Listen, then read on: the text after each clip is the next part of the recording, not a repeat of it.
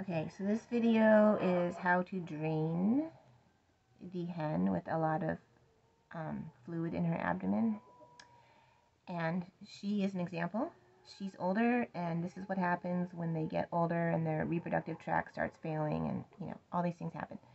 So, first of all, you want to use um, an adequate sized needle with this large syringe. So, the needle um, is should be either 19 gauge or 20 gauge, which is brown. I'm pretty sure like all countries use this color coding system. So you want either the brown 19 or the yellow 21, wait, 20 gauge. yeah, yellow 20 gauge or brown 19 gauge. And this is what you don't want. Blue, way too small, is 25 gauge. Um, and then green is 21 gauge, also way too small. Probably not going to work. This is definitely not going to work. No way in hell is this going to do anything. So you have to, I mean, if you didn't have anything else, you could try green, but mostly you want yellow or brown. Okay, so the first step is to trim away all these feathers. So she's really fluffy, so you just got to really trim it and it's, it's not going to be beautiful and it's going to take a long time to grow back, but it doesn't matter because she's probably not going to live that long anyway if she has all this fluid buildup. But so you trim away all the feathers and then you take your um, alcohol and you want to sterilize the area. And alcohol um, is also essential because it makes the feathers kind of part, whereas water doesn't. So alcohol is like good for getting the feather, feathers apart so you can see the skin. So we have to see the skin. If there's feathers in the way, you're not going to be able to do anything. So, um, yeah, and then, so the general place you're going to do it is on her right side, her right side, because the left side has the oviduct, so don't do that side. So her right side is right here. And if you don't want to flip them over, which often you don't want to because it makes it harder for them to breathe, hey girl. Um, in general, the area you're going to do is um, look, it's two fingers width from her vent, basically. But, you know, you got to move it around. So it's more or less two fingers width. And then you just kind of feel around for something that feels like it's, it's quite thin. Like, to me, it feels like the skin is quite thin right here. But here, it gets thick. So, you know, you want to put the needle in two fingers away, but also, like, wherever this it feels like the most full and the skin feels the most stretched. Um, yeah, I don't, I don't know. If it feels really thin, it usually goes in, and if it doesn't feel thin, you know, if it feels like the skin's kind of thicker in one area, that's not a good area. I don't know why it doesn't work, but it doesn't work whenever I do it in a thicker area. Okay, here girl. So here we have our needle. Um, and you can just hold them in your lap. I know, you don't like that. Um, and they're surprisingly sedate when they're being stuck with things. I don't know why, but they are.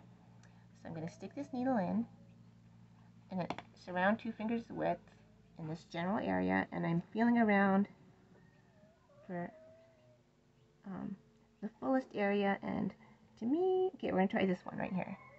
Yeah. Um, it'll most probably work. If it doesn't work, you just try another area, sort of. But at some point you have to give up because it's torture if you don't get it like in the first five times. So here we go. Nope. Oh, oh, she didn't like that. Okay. But it's okay, girl. She didn't like it, but you know. So here we go. We're to try to get the fluid out. So I'm doing this with only myself. But if I had a helper, it might be easier. So, okay, now I'm holding the syringe like this so it just drains out. So you can see all this yellow fluid is coming out. Blah, blah, blah. And, um, she has to be drained regularly, like maybe every 10 days. And as she gets older, it'll probably get more like every week. And so, okay, so when the syringe is full, you kind of unwind the needle. See, it's dripping too. And then I squirt out the syringe. Oops, I'm trying to squirt it out into this jar here. Wow, my hand looks huge. Okay, go away, huge hand. My huge hand is in the way. Okay, I don't know why this is so hard to squeeze out. Oh my god. Go, go, go. Okay, the plunger is very not smooth. Okay, so here we go. We're going to attach it to the thing again. And, you know, we're doing it this way so we don't have to keep pulling it out and stabbing them over and over because it's bad for them and they don't like it. Okay, we're doing another one. So, yeah, I'll probably get like five syringefuls out of her. Um, and like, so this is good, but sometimes it's not like this. This is just like ascites fluid, but sometimes it's like abdominal fluid that has egg in it, and then and then the fluid will become really gooey, and you can't drain it.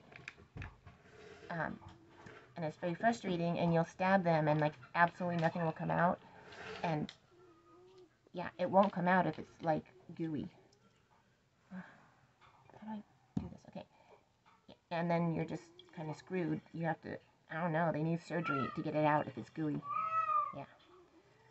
But if it's thin like this, which is like, I don't know, 70% of the time it's thin like that, then you can do it. And also, another thing is, um, doo, doo, doo, so, okay, say this, say I stabbed it right here and it didn't work. Sometimes if you like move it around, like, you know, like that, or like pull it in or pull it a little bit more out, then it'll like hit a fluid pocket and then you can drain it. And sometimes it seems like you can drain them and then nothing nothing happens. And that's because the fluid can be is not necessarily always in front right under the abdominal wall like this. Sometimes the fluid is underneath you know, other things like it, it could there could be other things in the way like her intestines could be in the way. So that's why you want to like not stick it in very far. And also, you only do it where there's a lot of fluid because if, there, if you don't, then you run more of a risk of stabbing the intestines or, you know, gizzard or liver. And uh, we don't want to do that. Not gizzard. What did I mean to say? Not gizzard. Anyway, the other thing. There's organs in there you don't want to stab. So see, so all this all this fluid's coming out.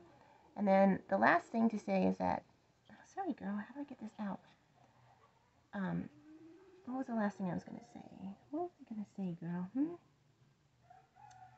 Oh, yeah.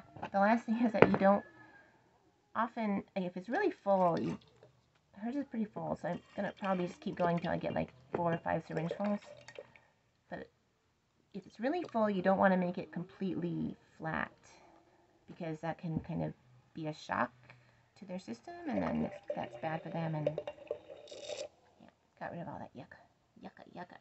It's a little bit viscous. It's not totally like water. Um, yeah, so, you know, just do it till it feels like a normal abdomen, and then you can maybe do more later, but you're not supposed to drain it so it's like huge and then tiny. Just drain it till it's like normalish. Yeah, and um, I think that's all that I would say can't think of anything else. So, oh, yeah, and the needle fell out. And also sometimes they'll just drip, you know, it'll just drip on its own for a couple of hours or something. Hmm. Minutes, hours. Anyway, yeah, that's it. And you were a very good girl. That's right. Um, yeah, so that's the end.